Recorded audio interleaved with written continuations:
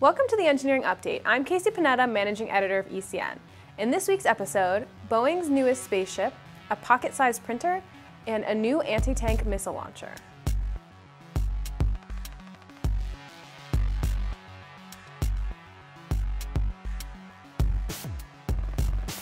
The tense relationship between Russia and the US has highlighted a number of issues within the space program.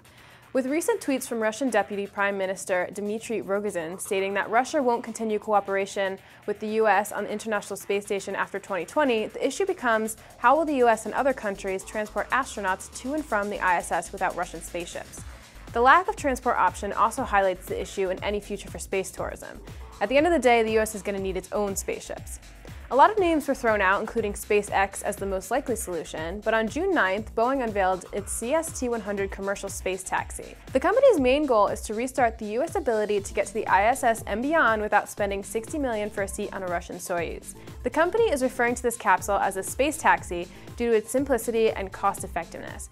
It's basically just designed for ascent and reentry. The capsule is about 14 and a half feet in diameter, includes five recliners, a hatch and windows, a control panel with Samsung tablets equipped with wireless internet, a docking port, and room for about 485 pounds of supplies. The inside LED setup looks a little like the 787 Boeing Dreamliner in tribute to the company. Boeing is hoping the space taxi will be ready as soon as 2017. Corporate road warriors have numerous tools at their disposal, including tablets, portable projectors, the cloud, and micro-sized mice. But this item really takes the cake, because who wants to bother with Bluetooth printers when you can have your own trusty robot sidekick do the printing for you? The Printee Lab is developing a prototype pocket printer that would drive itself around a piece of paper, printing as it travels and even search for new pieces of paper. The micro-sized device weighs about 10.5 ounces with the approximate dimensions of an iPhone 5, and if the team hits their $330,000 goal on Indiegogo, they'll set about finishing their prototype with a general launch scheduled for next year. The P-Printee printer and I do hope they'll come up with a catchier name, would search for the paper's edges using the integrated scanning modules and scroll down and across printing as it goes. The robot printer can print on all standard sized pieces of paper and if more than one page is required, the device asks you to swap out the paper or it can actually search for a fresh sheet.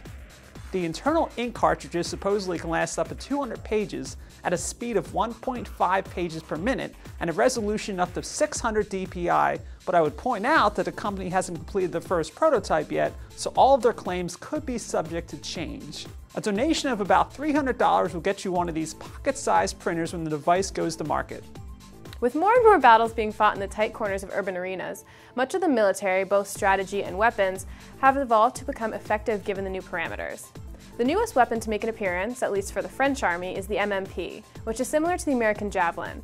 It's an anti-tank missile launcher designed to replace the Milan launcher currently being used.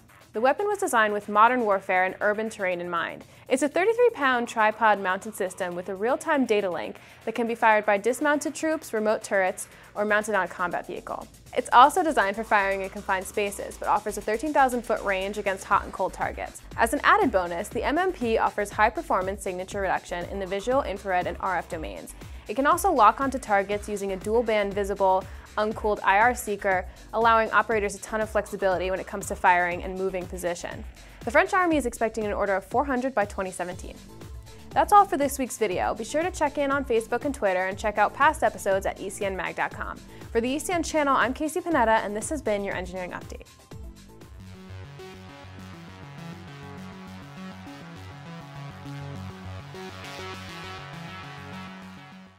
It's so cute.